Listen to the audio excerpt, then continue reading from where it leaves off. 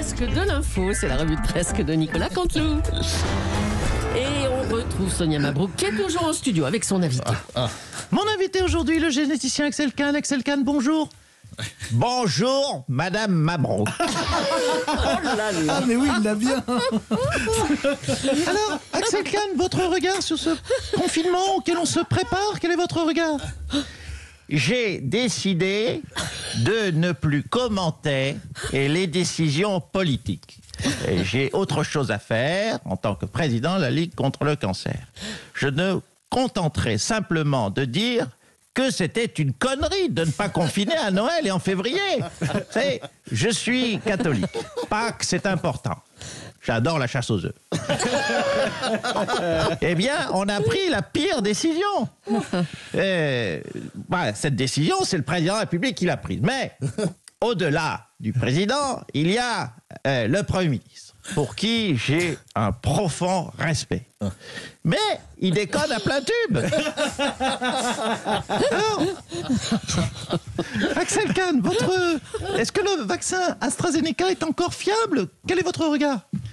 J'ai décidé de ne plus critiquer quelque vaccin que ce soit.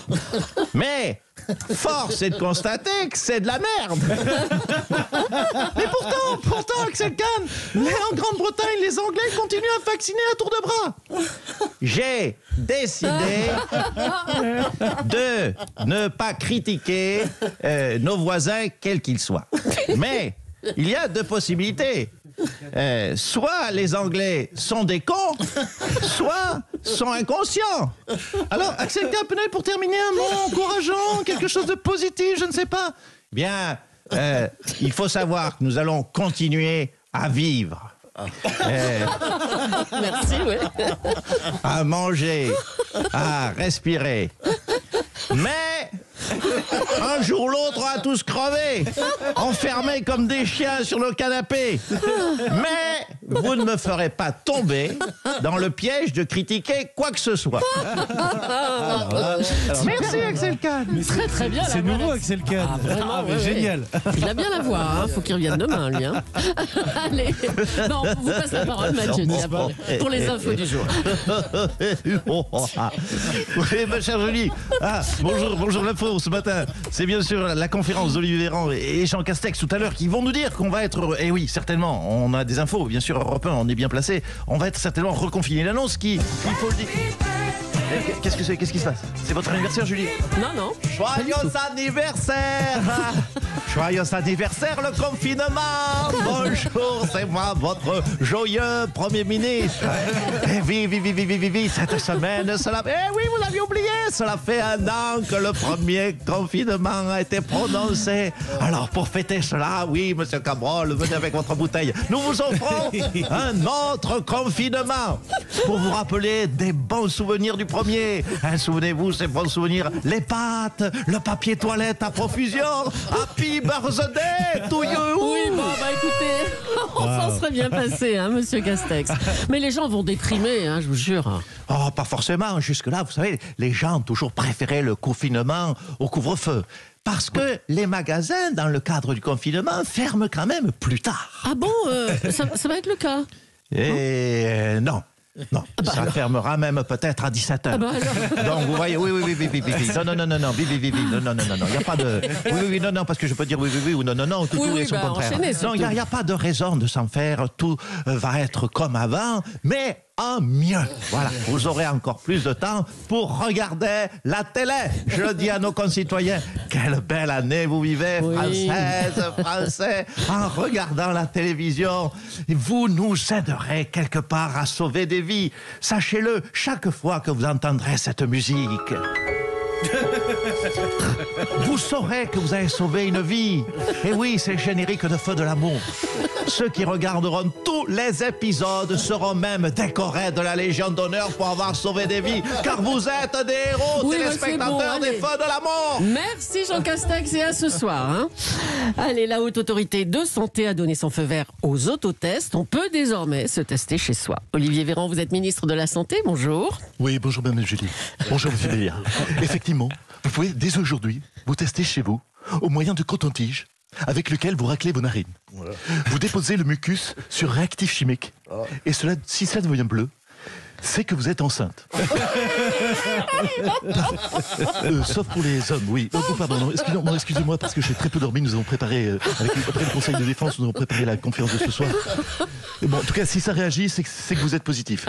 Alors, si vous êtes positif, vous pouvez vous soigner chez vous pour désengorger, bien sûr, les hôpitaux. Alors- Se soigner chez soi. Se soigner chez soi, mais comment ça va se passer Dites-nous? Vous prenez votre température, vous étudiez vos symptômes, Oui. et après, vous trouvez quel est le meilleur médicament pour votre cas. Si ça tourne mal, vous pouvez vous mettre en auto-réanimation afin de désengorger, bien sûr, les hôpitaux et les services de En santé. auto-réanimation? Mais attendez, c'est un métier ça Non, écoutez, c'est beaucoup plus simple que l'on imagine. Vous reliez un vélo d'appartement à un tuyau d'arrosage. Votre conjoint. Votre conjoint peut pédaler pour envoyer de l'air dans le tuyau. D'autre part, si vous avez une maladie qui n'est pas liée au Covid, Oui. par exemple une appendicite, vous avez toujours à votre disposition la possibilité de vous auto-opérer sur la table de cuisine à l'aide d'une roulette à pizza, et du sopalin et n'oubliez pas une pince à cornichons. Afin bien sûr toujours de désengorger les hôpitaux et les services de santé. Mais Faut que j'achète une mieux. roulette à pizza. Moi, dites-moi, j'en ai pas. Le mieux, bien sûr, le mieux, c'est encore ne pas tomber malade. Alors faites du sport, mangez 5 fruits et légumes par jour et surtout priez. Oh, les conseils d'Olivier Véran, eh ben, bravo. Emmanuel Macron était Bien prier, mais enfin, il n'y a plus Pâques, alors j'adore la chasse aux œufs. Emmanuel Macron était hier en visite dans un service de réanimation justement d'un hôpital à Poissy pour se rendre compte des conditions de travail dans cet hôpital saturé? Et nos équipes étaient sur place, bien sûr.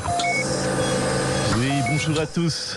Merci, merci de, de- de me recevoir.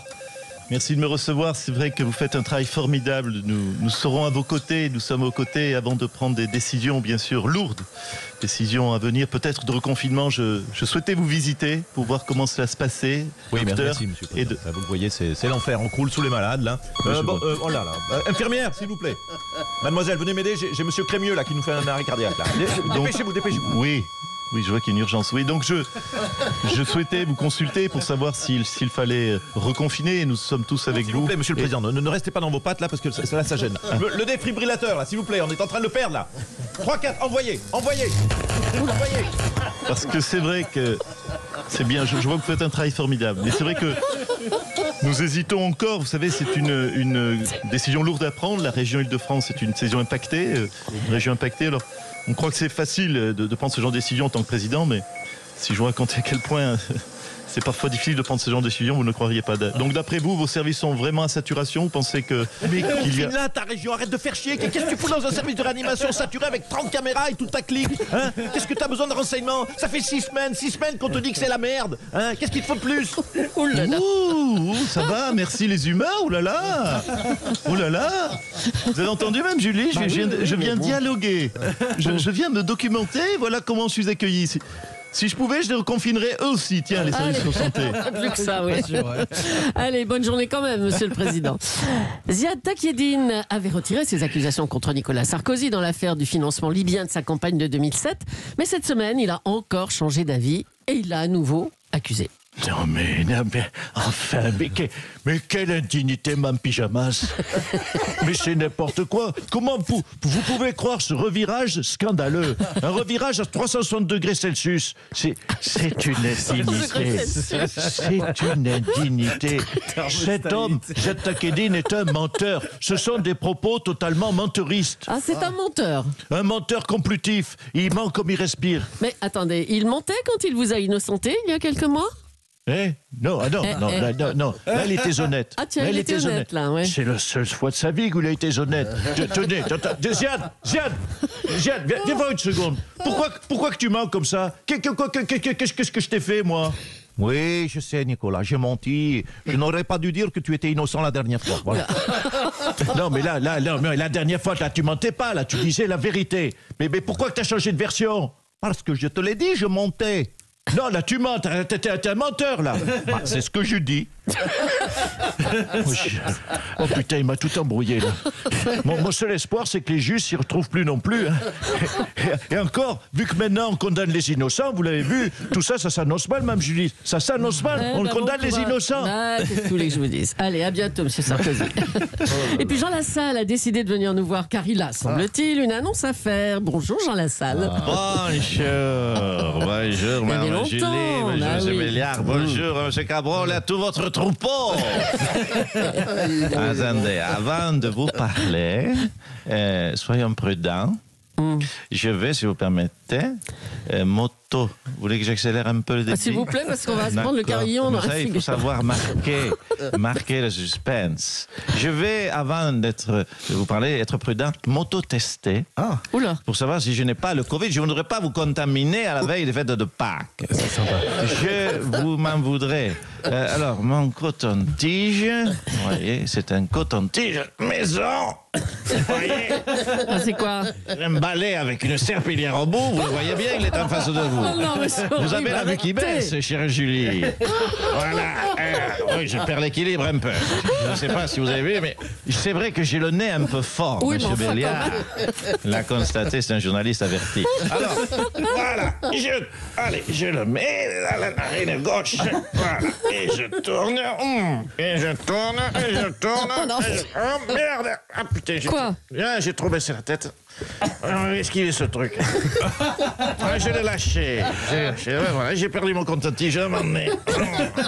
Voilà, Julie. Prenez un peu de poche. Regardez si vous ne voyez pas Oh non, pitié, non, non, non, non. mon coton-tige. Non, non, non, moi je vais pas chercher un balai dans votre nez là. Non, non, non. On va venir vous aider, monsieur Lassalle, on va venir vous aider.